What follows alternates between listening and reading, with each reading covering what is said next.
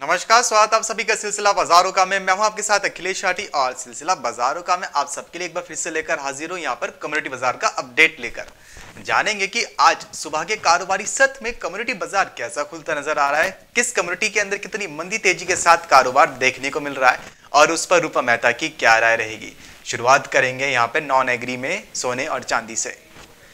तो हम देख रहे हैं कि आज सोना इंटरनेशनल मार्केट में, स्पॉट मार्केट में अट्ठारह डॉलर पर है। आधे फ़ीसदी की गिरावट है। सिल्वर भी देख रहे हैं कि 24 डॉलर के आसपास है। पौने एक फ़ीसदी की करेक्शन देखने को मिल रही है।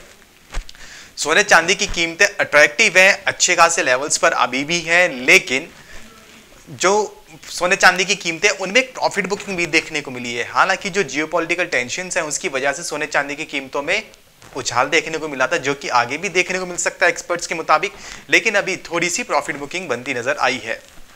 तो ऐसी सिचुएशन के अंदर सोने चांदी में खरीदारी करें या बिकवाली जान लेते हैं रूपा जी से। रूपा जी बहुत बहुत स्वागत आपका मार्केट टाइम सीवी पर। जी शुक्रिया।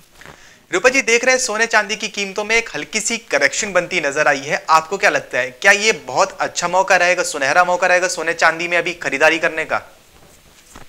देखिए लेवल्स काफ़ी ऊपर है इन लेवल्स के ऊपर खरीदारी थोड़ा रिस्की हो जाता है और दूसरा। आज डॉलर में स्ट्रेंथ देखने को मिली है।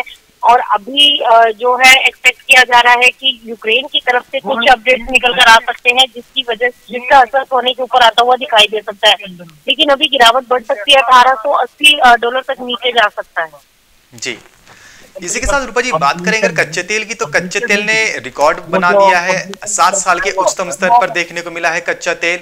कच्चा तेल सौ डॉलर के पास भी हमने जाता हुआ देखा, निन्यानवे डॉलर दशमलव पाँच शून्य पर ट्रेड करता नज़र आ चुका है कच्चा तेल। लगभग जो सौ डॉलर का जो आपका जो टारगेट था, वो पूरा हो चुका है।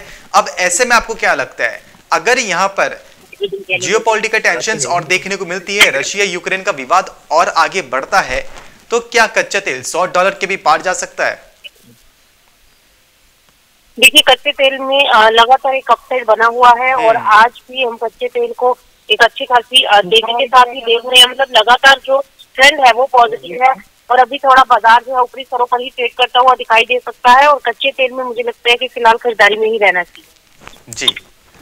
रूपा जी बात करें यहाँ से अगर बेस मेटल्स की तो बेस मेटल्स में भी देख रहे हैं शानदार बढ़त देखने को मिल रही है। कॉपर इंटरनेशनल मार्केट में तेज़ी की ओर है 4.5 डॉलर्स पर है। इसी के साथ एमसीएक्स निकल काफ़ी शानदार तेज़ी के साथ है अठारह के ऊपर है पौने एक फ़ीसदी की बढ़त है।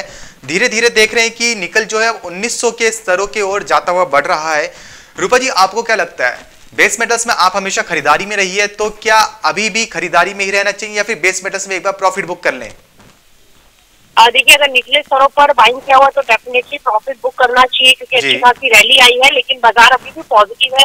निकल में मुझे लगता है कि यहाँ से 1880 से लेकर उन्नीस सौ तक बाज़ार ऊपर जा सकता है। इनफैक्ट अगर थोड़ा सा भी स्थितियाँ और जो है गंभीर होती हैं तो आगे चलकर निकल जो है वो 2000 के भी स्तर छूता हुआ दिखाई दे सकता है। क्योंकि वर्ल्ड वाइड देखा जाए तो मार्केट में काफ़ी अच्छी खरीदारी जो है वो देखने को मिल रही है। बेस मेटल स्पेशली और निकल में अच्छे परफॉर्मेंस दिया और अब आगे निकल में तेज़ी कंटिन्यूशन में रह सकती है करेक्शन आ सकती है। करेक्शन के बाद अगेन बाइंग जो है वो सपोर्ट आती हुई दिखाई देगी और ऊपर में अभी फ़िलहाल के लिए अठारह सौ अस्सी का टारगेट देखने को मिल सकता है।